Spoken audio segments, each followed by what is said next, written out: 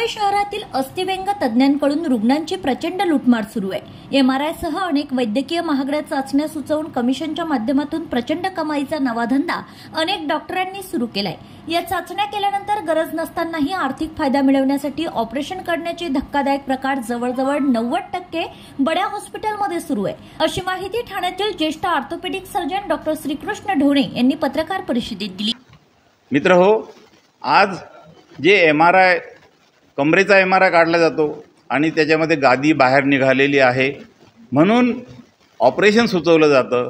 ते योग्य नाही असं माझं म्हणणं आहे. गेल्या चाळीस वर्षाचा अनुभव आहे सिव्हिल हॉस्पिटलमधला.